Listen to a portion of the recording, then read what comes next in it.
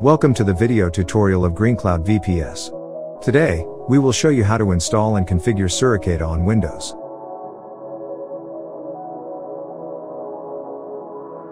First, visit the official Suricata download page and download the latest version for Windows.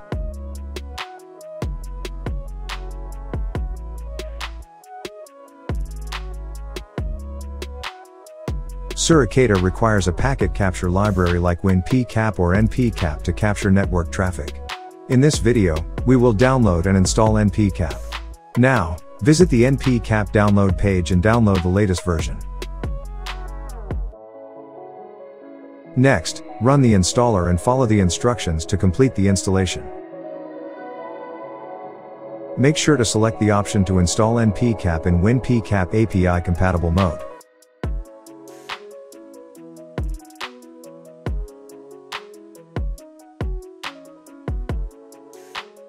Now, double-click on the file you downloaded to install Suricata. Next, follow the normal installation process. At the end, you will get this icon on the desktop. Next, navigate to the Suricata directory where the configuration file is located. Open the Suricata configuration file using a text editor. Then, find the AF packet section. Replace the interface name with the correct network interface name on your system. You can find the interface name by running the following command in the command prompt.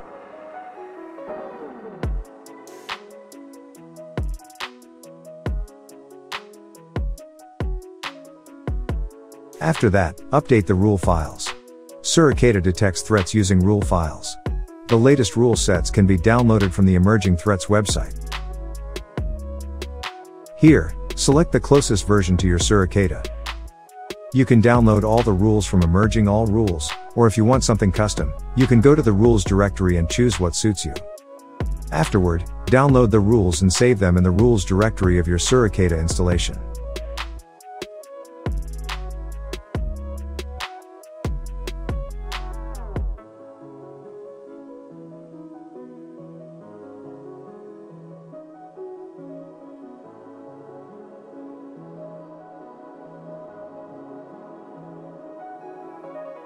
Finally, update the rule files section in the Suricata configuration file to include the downloaded rule files.